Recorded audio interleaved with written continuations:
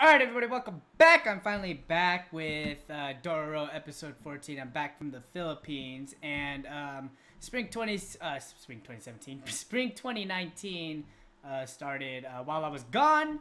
Uh, but I'm gonna be diving into that next week. One Punch Man and a bunch of other shit that came out as well. I got, got a lot of catching up to do.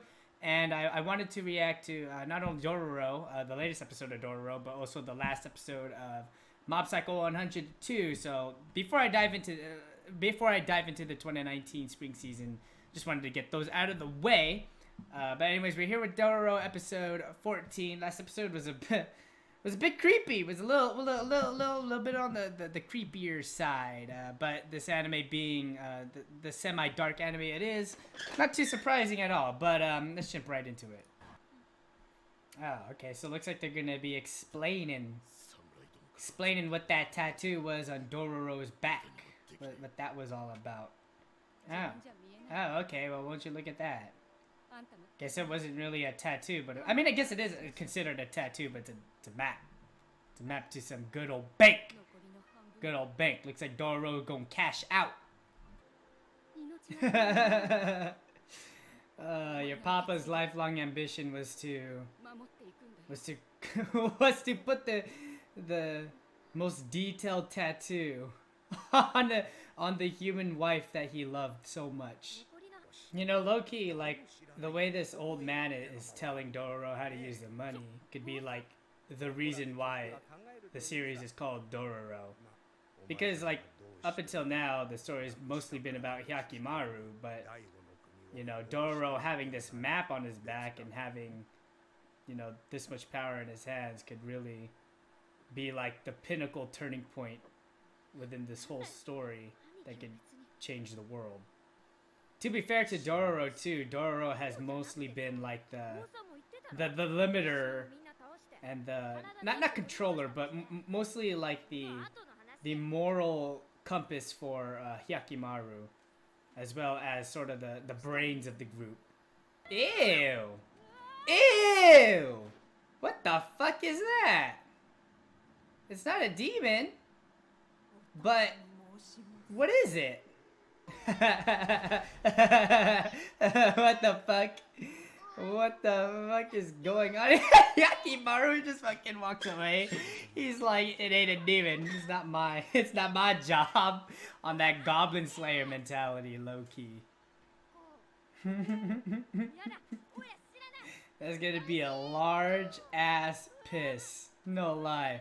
There's gonna be a big ass diaper you're gonna have to change Dororo. Oh no, he's gonna pee right on Dororo. Oh. Oh, and who might you be, Mr. Well-dressed man with flowers? Mr. You look like a you look like some kind of government official. Ghoul haunts this place my ass. I got a feeling this is the man who burnt it down. Some shit. I mean that that little baby thing wouldn't have disappeared for no reason. I mean, come on now. I mean, I, I mean, I, I, could be wrong too.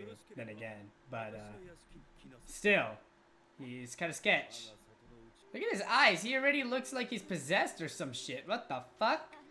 Yeah, look at Hyakkimaru already had a feeling. He already has a feeling. Look at this shit. What the fuck? Well, Dororo. He's got this red aura around him, which happens to be fairly evil. So, uh, I wouldn't say monster. Uh, jackass? Asshole, murderer, serial killer. I don't know. Whatever suits your boot. Wow. Okay. That's uh pretty uh pretty hardcore. He could be lying though.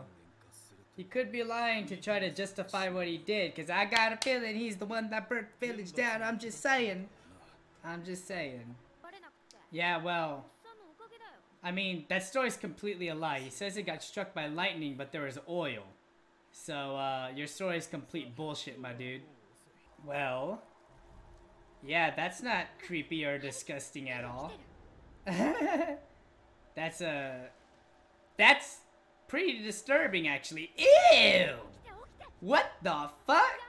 This is human centipede all over again?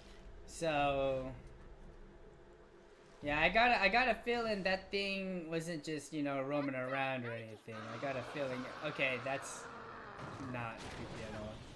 I got a feeling that thing was sent by something. What the fuck? What the fuck? What in the world? Mothra?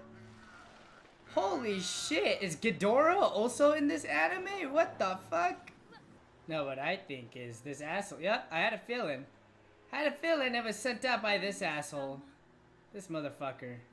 I got a feeling this chick. Yep, ah, I see that little smile just shows that she's just manipula manipulating him.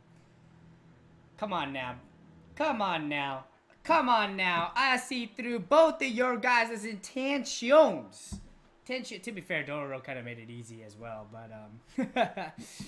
oh boy, here we go. This uh, the one lady that's in the new uh, opening. So um, is she gonna team up with another demon and, and fight fight off uh, Hyakkimaru, or is she gonna try to solo this shit? I don't know.